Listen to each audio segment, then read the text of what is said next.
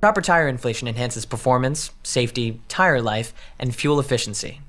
A tire can lose pressure for a number of reasons, including a change in the outside temperature. We recommend that you check your tires with an accurate pressure gauge frequently. You should check them when they're cold, meaning the vehicle has been driven less than a mile or so.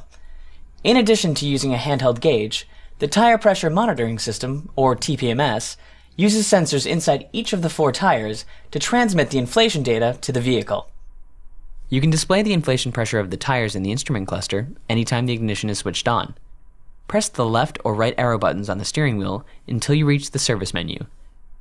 Press the up or down arrow to highlight the tire pressure menu and press OK.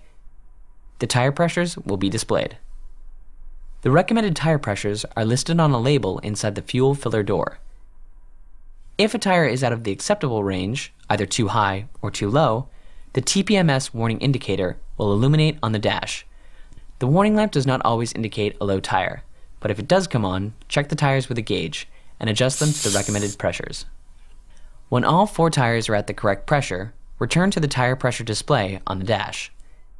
If you see a message that says the tire pressures will display after a few minutes, drive for a short period and check the display again.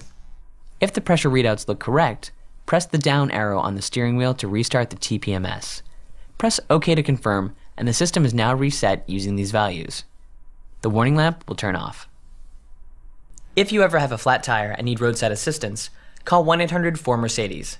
Mercedes Benz mbrace subscribers can also press the wrench button in your vehicle, or reach us via the mbrace mobile app on your smartphone.